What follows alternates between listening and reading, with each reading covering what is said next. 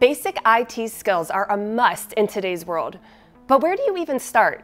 Stick around, I'll show you.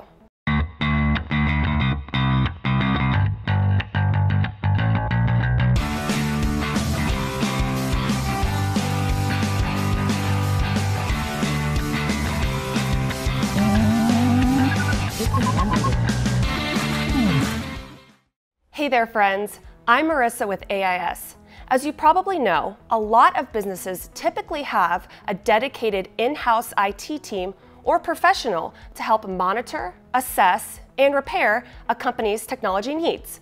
However, a lot of the time, your IT department is swamped putting out those complicated IT fires that always seem to come up at the worst times. Because of this, it's probably a smart idea that you brush up on some of your basic IT skills yourself. Follow me.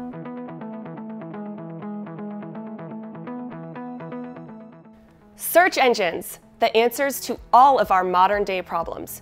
Whether it's Google, YouTube, Yahoo, or Bing, all the information we need is out there waiting for us to uncover. So when it comes to IT problems, the first step is obvious. Go search for the answer online. For example, an error code pops up on your computer, printer, or copier, and you just aren't sure what it means. All you have to do is write down that error code along with the model number of your machine and plug it into a search engine like Google, and you'll probably come across one of four of these results. A response from a person who received the same issue and more than likely has a solution somewhere within the page a troubleshooting article published by the service provider of that particular device that lists out steps for a solution. A suggestion or recommendation of similar questions that people have asked previously. Sometimes your answer can be found in those results. And lastly, if you're lucky, our very own Tech Tips series on this channel covering your exact problem. Check it out. Of course, there's gonna be times when your problems can't be solved with a single online search. And in that case, you'll need to either call the manufacturer of your machine or a professional IT technician.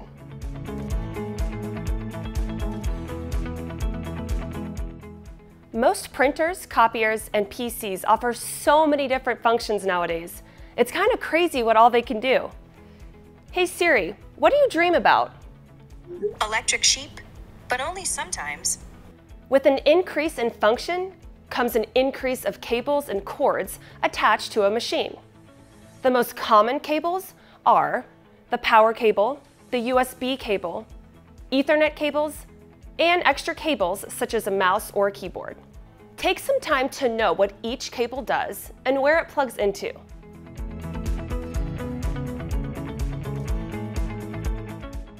Most technology terminology sounds scary and intimidating.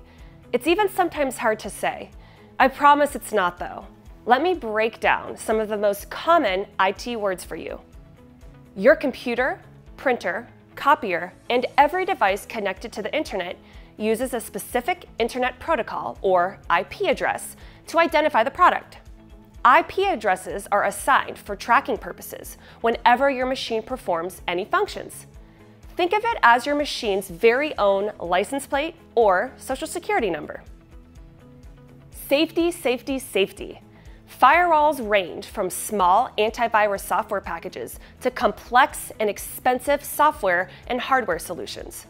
Whether your device comes with a firewall or not, you should certainly use and activate it to ensure your files and documents are kept safe and secure.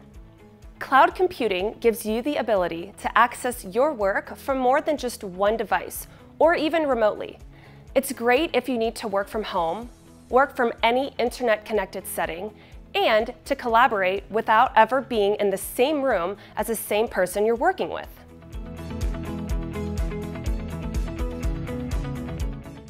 Congratulations! You're the millionth visitor to our website.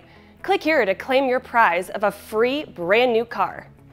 Don't fall for this scam. Advertisements like this are ripe with malware and other high security threats. Think through something on the internet before you click on it, especially before giving away any personal information. So there you have it, some basic and essential IT skills you're now a little more familiar with. When it comes to information technology, things can get tricky, and just because your in-house IT department might not have the time to assist you, doesn't mean your problems should go unresolved. And as a side note, have you ever thought about outsourcing your IT and using a managed IT services company? Read our blog below and learn a little bit more. And don't forget, hit that like button on our videos at the Copier channel. I'm Marissa, and remember, you can worry less with AIS. I'll see you next time.